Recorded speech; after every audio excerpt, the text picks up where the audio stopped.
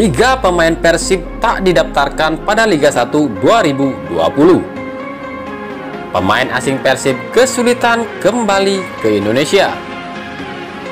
Persib gaji pemainnya sesuai SK PSSI. Statistik tiga pemain tertua di Persib. Tira Persikabo kehilangan satu pemainnya.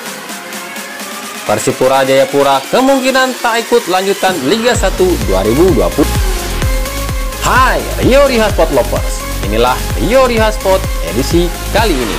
Tapi sebelum lanjut ke videonya, mohon dukung channel ini agar terus berkembang dan bisa memberikan berita-berita informatif yang semoga saja bermanfaat untuk kita semua dengan cara klik subscribe, aktifkan notifikasi loncengnya, like, share, dan juga komen.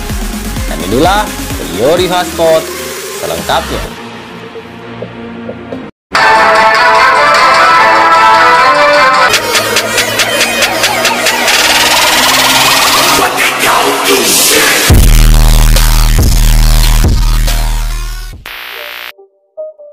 Di musim 2020 ini Persib Bandung sebenarnya diisi beberapa talenta muda. Tercatat ada 11 pemain muda yang mengisi skuad Persib.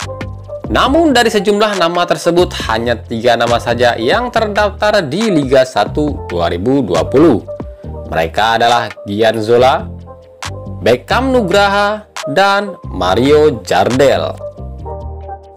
Bahkan nama Mario Jardel pun nampaknya akan dicoret Persib untuk kelanjutan Liga 1 2020. Selebihnya nama-nama seperti Wildan Ramdhani, Puja Abdillah, Agung Mulyadi, dan Indra Mustafa rela dipinjamkan ke Liga 2 bersama Bandung United. Tapi di Persib masih ada pemain muda yang tak jelas nasibnya. Mereka adalah Syafril Lestaluhu, Julius Josel, dan Ilham Kolba. Padahal tiga pemain muda ini telah diikat kontrak oleh tim senior Persib, namun tak didaftarkan di Liga 1 2020. Ketiga pemain ini sempat ditawarkan main di Liga 3, namun ketiganya menolak dengan alasan intensitas permainan yang berbeda yang dianggap rentan terkena cedera. Alhasil, nasib tiga pemain ini masih terkatung-katung. Persib Bandung dijadwalkan menggelar latihan pada 6 Juli lalu. Namun hal itu diundur menjadi 8 Juli 2020. Sebelum latihan digelar, seluruh punggawa Persib telah menjalankan swab tes COVID-19 dan dinyatakan bebas dari virus ini. Namun hal berbeda dialami empat pemain asing Persib. Keempat pemain asing Persib belum terlihat di markas Persib. Dikabarkan keempat pemain asing ini kesulitan kembali ke Indonesia. Faktor izin terbang dari daerah mereka menuju luar negeri yang sangat rumit membuat kendala tersendiri bagi mereka. Hal ini disampaikan pelatih Robert Rene Albert Menurutnya, empat pilar asingnya memang belum kembali ke Indonesia dan belum dites. Jadi kemungkinan minggu depan baru tiba di Indonesia. Itu pun harus melewati beberapa tes kesehatan sebelum bisa bergabung ke Persib kembali. Ditanya soal kontrak dan gaji pemain, Persib Bandung akan mengikuti SK PSSI yang memberikan anjuran setiap klub membayar gaji pemain 50% dari nilai kontrak. Namun tidak menutup kemungkinan ada pemain yang akan dibayar 60-70% dari nilai kontrak. Hal ini bisa dinegosiasikan oleh pemain dan pihak klub nantinya. Klub akan mempertimbangkan siapa saja pemain yang layak mendapat gaji di atas 50%. Seluruh pemain Persib dinyatakan setuju dengan kesepakatan ini. Ya, soal gaji, kita ikut pemerintah yang ngasih 50% dari nilai kontrak. Tapi nantinya kita akan pertimbangkan soal siapa aja yang layak dapat gaji lebih, ujar Direktur PBB Haji Umuh Muhtar.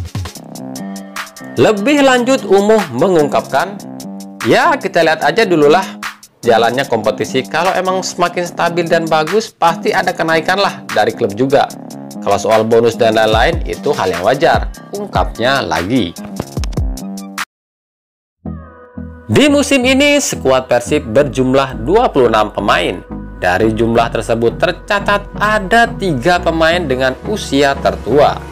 Siapa saja mereka dan bagaimana statistiknya di Liga 1 2020? Yang pertama ada Imade Wirawan. Kiper asal Bali ini saat ini berusia 39 tahun. Ia membela Persib sejak 2011 dan telah mengoleksi lebih dari 300 menit bermain. Di musim 2020 ini, Imade baru mendapatkan menit bermain selama 93 menit. Ia diturunkan penuh saat pekan ketiga Liga 1 2020 antara Persib versus PSS Sleman. Ia tampil menggantikan Teja Pakualam yang cedera sebelum pertandingan. Sayang tampil perdananya pun Imade harus rela kehilangan clean sheet pasalnya gawang Persib harus dibobol back PSS Arun Evans. Yang kedua ada back naturalisasi asal Brazil Fabiano Beltrame. Fabiano saat ini berusia 38 tahun. Ia direkrut Persib dari Madura United pada 2018 lalu. Namun pada musim 2019 ia tak sekalipun tampil karena terhalang proses naturalisasi. Di musim ini, Fabiano baru tampil satu kali saat menggantikan Supardi Nasir saat Persib tandang ke Arema. Fabiano masuk pada menit ke-89 dan tampil hanya 2 menit 40 detik. Yang terakhir ada Kapten Persib Supardi Nasir. Supardi saat ini berusia 36 tahun.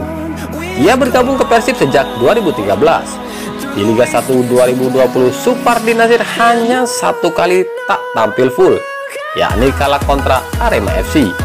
Ia digantikan oleh Fabiano Beltrame dari tiga laga tersebut, Supardi mengoleksi 269 menit bermain dengan catatan satu asis dan satu kartu kuning.